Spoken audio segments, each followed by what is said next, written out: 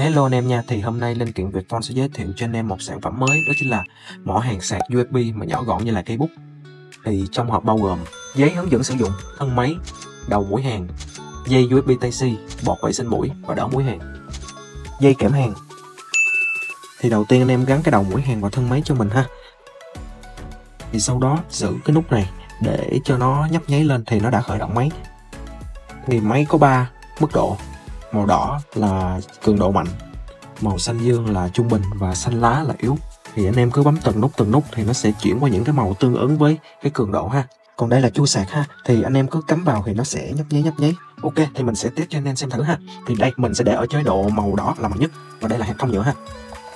Đó, anh em thấy không? Nó vẫn làm tốt cái việc hàng của mình.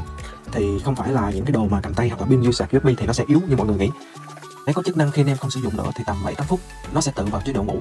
Và tốt nhất thì anh em nếu anh em không sử dụng nữa thì anh em cứ nhấn giữ để tắt để tránh những điều hy hữu nha. Cảm ơn anh em đã theo dõi hết video của linh kiện Việt Phone bên mình. Anh em có thắc mắc về sản phẩm hoặc muốn mua hàng thì liên hệ cho bên mình nhé. Hiện sản phẩm đã có mặt tại linh kiện Việt Phone.